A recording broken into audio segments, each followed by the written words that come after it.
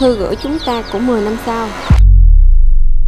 Mặc dù tuổi gần 40 nhưng hai vợ chồng mình vẫn luôn nhí nhảnh dành đồ chơi của con. Chơi cùng con và quan trọng là hai đứa mình không bao giờ giận nhau quá nửa ngày.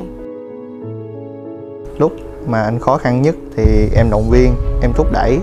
Quan trọng hơn hết là em luôn ở bên cạnh anh Để biết là anh luôn có một người sẵn sàng đồng hành với anh.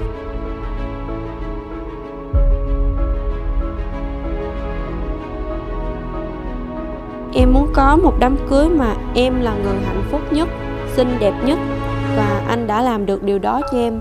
Cảm ơn Mật.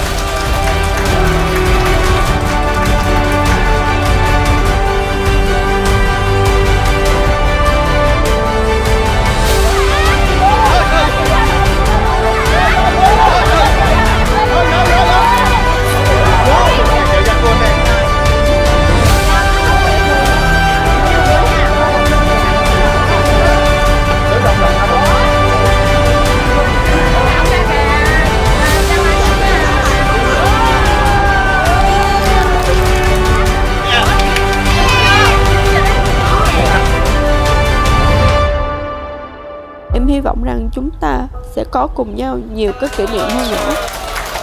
Tương lai chúng ta sẽ hạnh phúc hơn nữa. Em cảm ơn chồng. Em yêu anh. Cái tên bé mèo mất của chồng.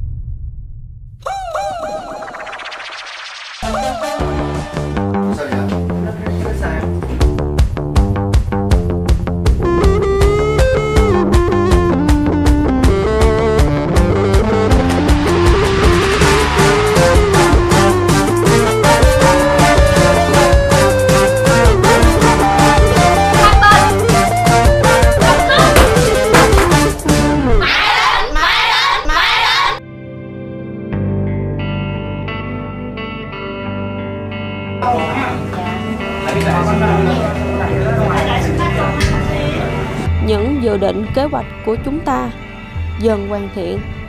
Cuộc sống tự lập có nhiều khó khăn, nhưng em vẫn thấy may mắn vì mình còn có nhau bên cạnh anh nhỉ. Spring, and my life is starting over again.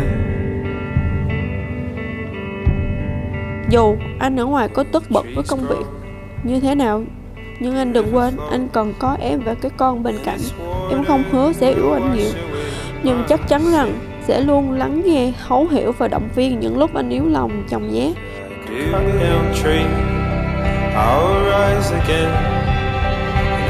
Bigger and stronger than ever.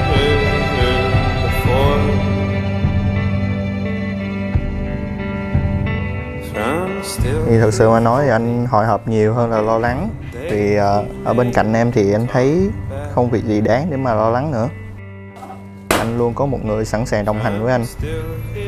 Thậm chí dù có xảy ra chuyện gì đi nữa thậm chí là nếu như anh có muốn quay lưng lại với cả thế giới này cảm ơn em. Vợ của anh.